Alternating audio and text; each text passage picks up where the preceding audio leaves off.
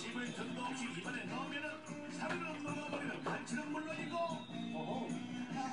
매콤한 양념 소금에 물을 밥에 쳐 올려. 한 입 먹으면은